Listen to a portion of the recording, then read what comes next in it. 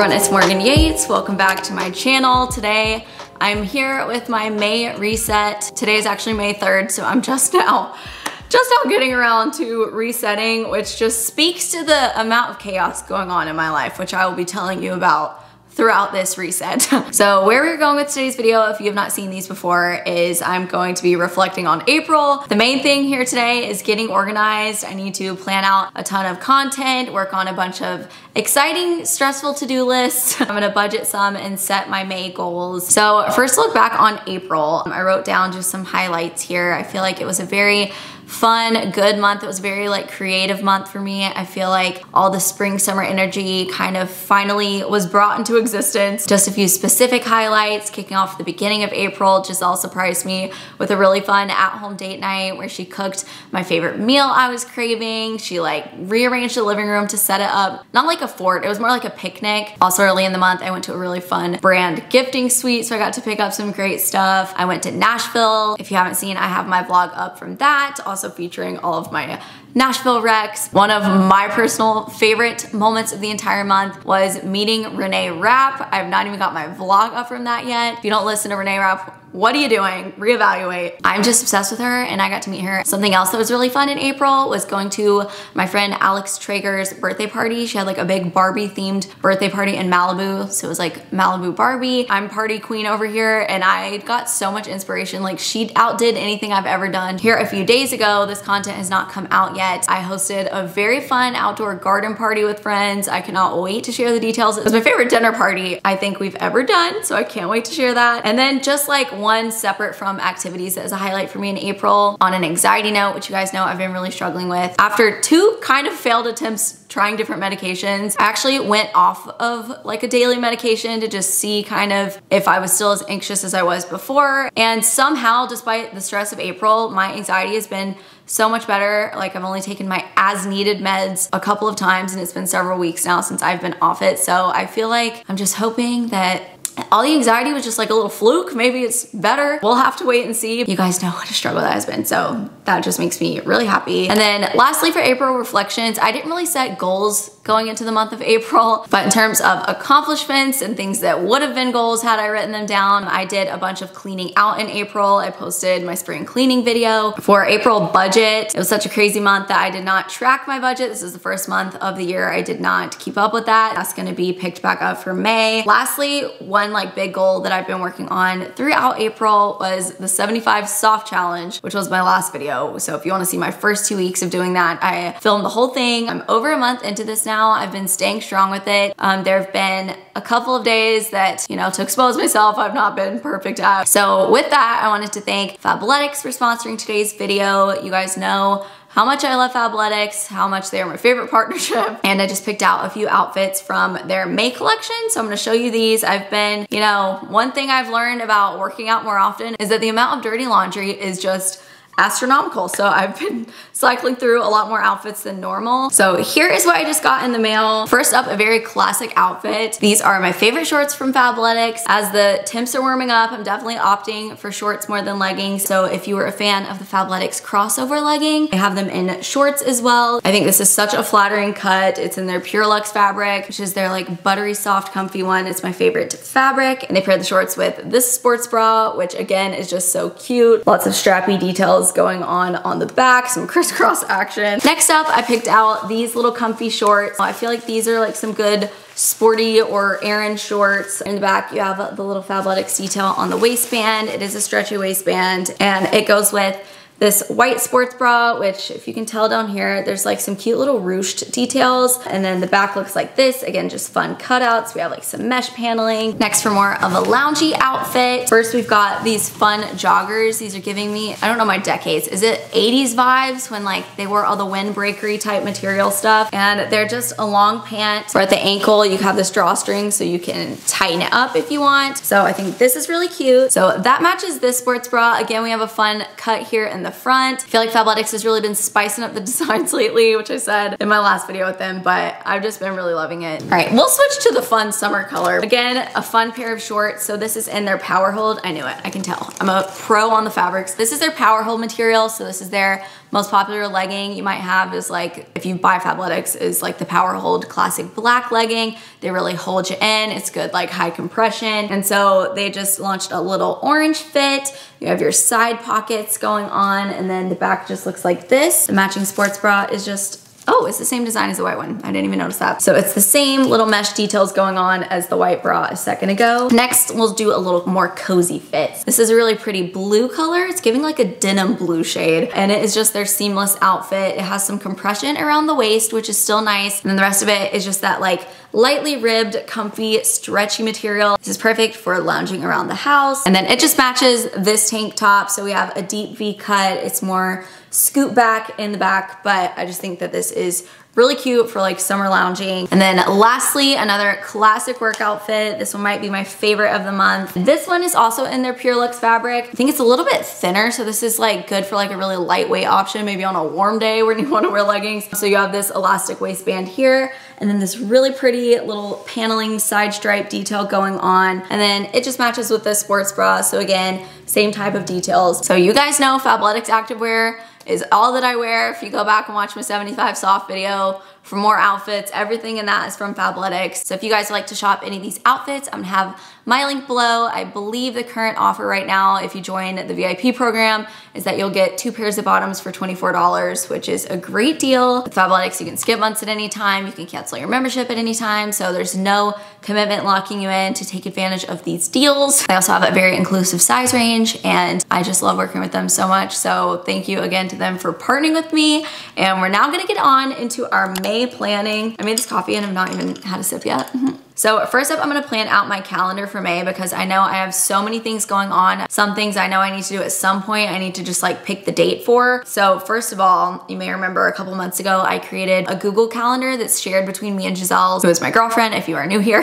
it's just been very helpful for the two of us to be able to add to that. Coming up here tomorrow, we have an event on the 5th for Cinco de Mayo. We have plans with some friends. May 17th is our two year anniversary of being officially together. So we're gonna go out to dinner for that night and that's probably gonna be our only big meal out for reasons I will get to in a second. I know I'm leaving you guys hanging, but I came up with a structure to this video. So I promise I'll get to what has been so chaotic here in a moment. I mean, you've already seen it from the title. Later in the month, Giselle and I are actually going to North Carolina to visit my family, which has been a pre-planned trip, which is not coming at a good time at the moment with everything going on, but there's a slight chance we'll have to cancel that. So that's gonna be like over a week for a trip just to see my whole family because I only see them a few times a year. I guess this isn't calendar planning, but looking at the calendar, this reminds me I need to get something for my mom for Mother's Day and have that sent over to her in North Carolina. My youngest sister is graduating law school also on Mother's Day. I do want to get her graduation gift figured out as well, even though I'm probably going to bring that just with me calendar wise, but actually on into June, but that needs to be planned now is I need to start talking to some friends to nail down a date for our pride party because I want, you know, everyone to be able to be here for that. And then lastly, just one thing on the calendar that I need to figure out a day for. I need to schedule a doctor's visit just with my primary care doctor. It's like really time that I go. And finally, to what you've been probably waiting for me to talk about, something huge coming up in the month of May probably is that Giselle and I are probably going to be moving out of this house. I say probably because two days ago I thought we weren't. Today I think we are. We should know for sure here in the next few days. It's just been up and down. Like I would love to be able to put in my 30 day notice. I need to ASAP because if we're moving, it's gonna be before the end of the 30 days. Once it's all said and done, one way or the other, I have a whole vlog to post to show you guys just the drama of what's been going on the past month. And I will tell you once I'm no longer having to deal with the parties involved. so as of right now, and what I need to organize and plan out is, you know, the next few months under the assumption that we are gonna be moving. So I'm just making a to-do list that I'm gonna write out. I just use a weekly calendar to handwrite like different things on different days so I can kind of get that visual. So so my house and moving to-do list, I need to today actually return a bunch of stuff that is just kind of in the way over here. I just need to clear that out, get some money back. Last weekend, we knocked out a ton of listing clothes on Poshmark. I've been growing my collection for so long and I've just been too lazy to actually list it and get it up. So we're about halfway done with that. I do need to go through the other half of my closet that I didn't get to in my spring cleaning video. So then there will be even more to list. I'll have my username here if you want to shop my Poshmark. We need to finally clean out the garage because that has been hoarding some I need to clean out under my bed, which is another hoarding zone. And other than that, over the past few months, I've done a really good job of, because the majority of things here are mine, so it's kind of like my problem more than it is Giselle's but I've done a good job of like cleaning out different spaces. I am really glad that I did all of that kind of throughout time and like don't have to do all of that at once right now. And then the other really big item on the to-do list is packing up and moving, especially because if we move, it's gonna be right after visiting my family. So we really need to do as much packing as we can. Prior to that visit, which is coming up only in like two weeks. So I need to just start packing, which is crazy. I need to nail down our moving date with movers, which I'm also, you know, trying to figure out. So again, this is just like kind of stressful, not knowing which way things are going and having to plan one way and that may not be the case. I don't know if I'm gonna pack up bags and then have to unpack them. And I'm sorry that this is all really vague and confusing, but there will be updates. Switching over into content planning. So you guys are gonna see over the next few weeks to a couple of months that I have a good amount of brand partnerships coming up. They're within really fun, exciting content. The majority of it is hosting content. So I think you guys are gonna really love it by kind of going into 2023, especially on YouTube, but kind of across the board. As I talked about way back then, if you remember like how I was just kind of feeling disconnected from my content, wanted to really pour a lot into making really quality things and just like feeling really in this again. But during that time, I really kind of trimmed back on the sponsorships because I just wanted it to be like me. So right now pertaining to all of this stuff, I need to go in and add due dates. I've, I've been doing all of these things, but like have not compiled everything to my calendar yet. So I need to put all my due dates, my live dates. I also need to submit a concept doc to a brand. So sometimes when you're doing a brand deal, sometimes you need to send like a few sentences sentences explaining it. This one, every now and then you get like a really big thorough document, which I always hate doing in the moment, but then when I go to film it, it's so easy because I've already put all the thought into it before. Another item on my list here is I just shot some fun beach picnic, beach setup stuff for a brand, so I need to edit that and send that over. Just this morning, I submitted my garden party content to that brand that's gonna be going up on May 20th. It's just another like start to finish hosting little reel and TikTok. Tonight, I'm gonna be filming a similar thing like that, but it's for an at-home paint and sip night. So I'm working with a wine brand on that. I might need to film some road trip content for a brand next weekend. Giselle and I were supposed to be going up near Santa Barbara just for a little like one night overnight trip for this event I was invited to at a winery estate thing. With everything going on, we'll see if we're able to go to that or not. If not, I'm just gonna need to shoot this partnership in the car over by the beach. Coming up tomorrow, I'm filming a little night in my life reel with the brand. Later in the month, I'm filming one little thing with my family while I'm there, so I need to get all of this prepped. I need to go through lots of contracts I've been avoiding. It's my least favorite thing. I'm trying to film everything for the month, like as soon as possible, so that it can all be done before my house is chaos. Other content planning, so I do just use my content calendar doc for the or spreadsheet for this. It's not anything fancy, but it just keeps me organized. Some other non-sponsored things in the works I need to film this week. I wanna film a house tour, like reel and TikTok. I know I filmed over a year ago, um, like a house tour for YouTube, but I've done a lot more decor wise and things have changed and I never posted it on that platform. So I feel like enough time's gone by. Also over on TikTok, I've been doing a really in-depth travel series pertaining to my trip last summer. I've been posting full hotel reviews for everywhere Giselle and I stayed. I've done a bunch of restaurant recommendations. This week I'm posting in-depth city itineraries. So Florence has already gone up. Today I'm gonna have Mallorca go up and I'm just like, I don't know, trying to put up as much stuff as possible to help you guys or people who just find it on TikTok plan their trips because I know it's very, from experience, it's very overwhelming and confusing. Overall, I've just been trying to post more on Instagram. Maybe it's because I got cute new outfits kind of recently that now I'm just like feeling more inspired to take more photos for Instagram. Moving on to budgeting for May. So I'm going through and resetting setting my budget spreadsheet, clearing this off. I'm adjusting as well. We got some rent credit for May, actually.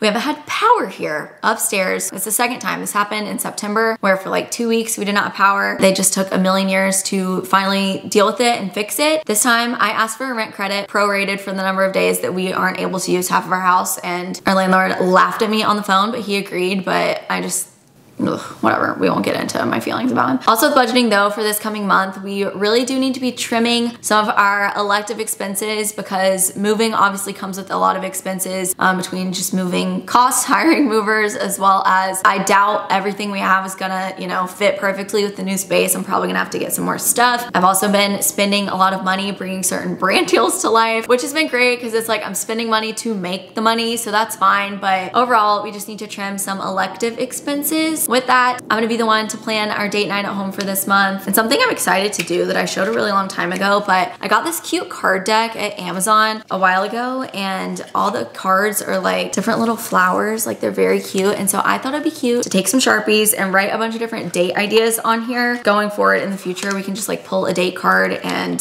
you know, go on that date. Additionally, to really assist myself in spending less money this month, I am making a list, uh, I'm calling it my treat myself list of things that are free or very expensive that, you know, will like give me that rush of doing something different and fun without having to spend a ton of money. So first of all, from that gifting suite event we went to, I have a coupon for a free facial. And I've not got a facial in years, so I think that will really do something for me there. If we want food out, guess what? We're going to Chick-fil-A because I have a Chick-fil-A gift card. Different things like face masks at home, making the upstairs room vibey at night, like lighting candles, going on a pretty drive. I've even downloaded a ClassPass trial to make my workouts cheaper for the next couple of weeks. So these are all just, you know, things I'm trying to put some effort into. And then lastly, to wrap up this video, I have outlined some of my May goals for the coming month for three categories. So firstly, the just personal or fun category. We need to plan our Oktoberfest trip. So I'm hosting a trip to Switzerland with you guys, which there are only three more spots for. That trip ends like right when Oktoberfest is happening over in Germany. And I have some other friends who are already gonna be there, some additional friends who I think now that they know a bunch of us are gonna go to that, they might come as well. We really need to lock in the dates, our flights, and hotel and everything like that very soon. Also pertaining to those trips with you guys, I've already connected everyone for Croatia, so I just kind of want to send out like an email um, just with some updates and info and things like that and go ahead and get the people on the Switzerland trip introduced. Lastly, for a fun goal, I want to try to carve out time for friends in the coming month, even though if we move, it's gonna be crazy chaotic, but I just want to put my best effort into that. Next for lifestyle goals, so this is kind of where some of the things on that habit tracker I used to talk about are coming into play. I just wanna try to have less nights with screens. We have just been so busy and tired and exhausted with everything going on that we've just been mindlessly watching TV every night. Totally fine, but I just want to try to do something else even if I am like really exhausted. I swear my eyes are hurting because of how many screens I've just been looking at related to Postmating. I was on such a streak all year with like not Postmating whatsoever for months. Here in the past week or so, we've really been doing that a lot. Again, just because things have been so busy and tiring, but I need to just suck it up and, you know, eat a frozen meal. My last lifestyle goal is I just want to continue